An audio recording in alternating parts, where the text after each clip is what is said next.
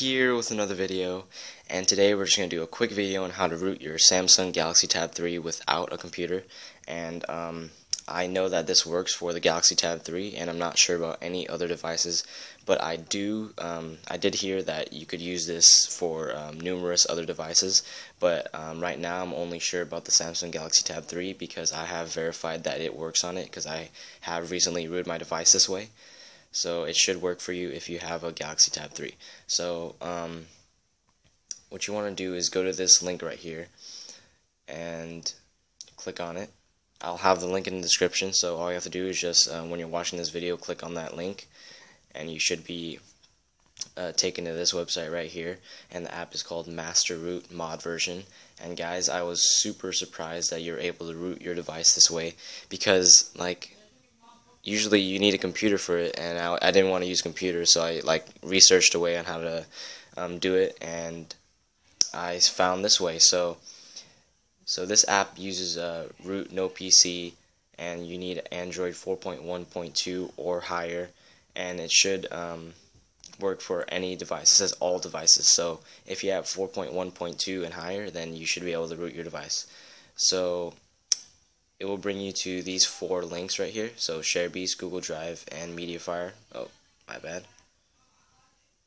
So it should bring you to um, these four links right here, Google Drive, MediaFire, Uploadboy, and ShareBeast. So all you want to do is just click on one of those links. I usually use MediaFire, so I'm going to click on that link. We'll just let it load real quick.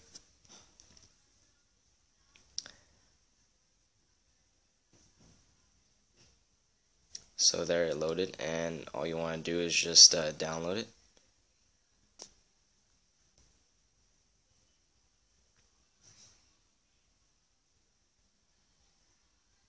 And then yeah once you download just uh, press OK where you want to download it and yeah we'll let that go and it's not in a zip file or anything so you could just click on the notification and it should be able to do it. And make sure you have unknown sources um, tab like checked. And I already installed this application so I'm gonna click cancel.